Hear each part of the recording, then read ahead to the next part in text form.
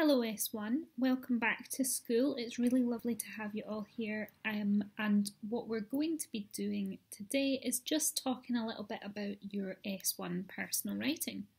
So we're going to be doing a literacy starter, we will be doing a little bit of reading for pleasure and also a bit of personal writing as well. Those are things that we're going to be doing um, over the next few lessons. So, as we say, we're doing a little bit of S1 personal writing, and this is something that we started before the holidays.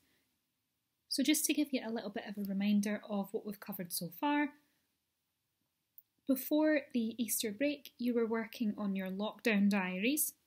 We talked a little bit about imagery as well, so similes, metaphors, and personification. We did a little bit of work on show, don't tell, and one of the last things we did was we wrote some epic tales as well, where we took an ordinary moment in our day and we tried to make it sound as intense and as epic as we possibly could. So these are all skills and techniques that you're going to be using now as we go on to write our personal essays. So what exactly is a personal essay? Well, it's an extended piece of writing it's going to be somewhere between three and 500 words, depending on what level you're working at.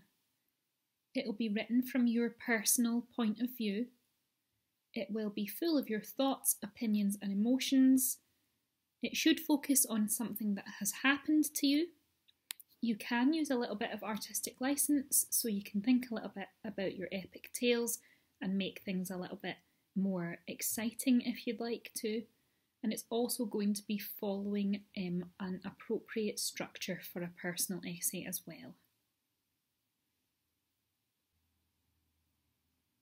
So as we say, this piece of writing is going to be all about you.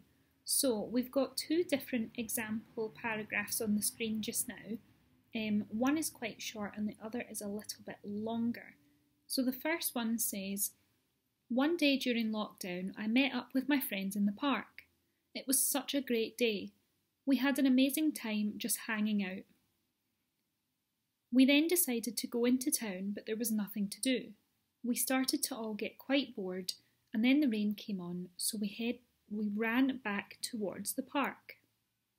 Okay, that's fine, but really what we'd like you to do is really draw out your experience and make sure that you're including lots of your own thoughts and feelings as well. So that's really what that first paragraph is missing.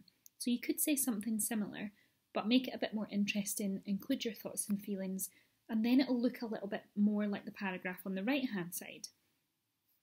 So that one says, One day during lockdown, I met up with my friends at the park. I couldn't stop smiling when I saw them. It had been so long. I really miss my friends, and using FaceTime just isn't the same. There's always this invisible barrier between us. When my best friend Suzanne suggested going into town, I hesitated. What would be the point? Was there anything to do there? I was right. Ten minutes later, and my shoulders were slumped and I had stopped smiling. It's far too boring when nothing is open. It's like a ghost town. So you can see that the second paragraph is a lot more interesting and that's what we're aiming for in our personal essays. Okay, so here's what we're going to be writing about. So it says, write a personal essay about a day you had in lockdown. Think about a day where you felt a strong emotion, like frustration, anger, sadness, or joy. Cover the whole day and end by reflecting on why you felt that way and what lessons you have learned.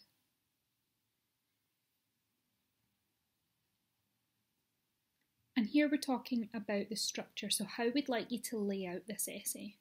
So the beginning, middle, and the end. So here's a wee example structure um, to help you think about how to plan your own piece of writing. So the first paragraph is the introduction. So you're going to describe um, what lockdown is and how you felt when you were told that this was something that was going to be happening. Paragraph two, you might talk about um, the morning routine of your day. So you're going to start at the beginning, You're going to talk us through what you did in the morning and describe the setting in plenty of detail. Paragraph 3, you're going to describe how you were feeling before the emotional thing happened. So remember, you're, you're choosing a day here where something emotional has happened to you. So in paragraph 3, you need to tell us how you happened before you got to this emotional event. So you're trying to build up to it. Paragraph 4, you're going to describe what the event was. So, what happened? How did you react? How did everybody else react? Paragraph 5, you'll tell us um, in detail about your emotions and your reactions. So, how did you feel? What did you think about this thing that had happened? And in your conclusion, you're going to explain what happened afterwards and then you're going to think back and you're going to reflect on how you felt at the time and how you feel about that thing now.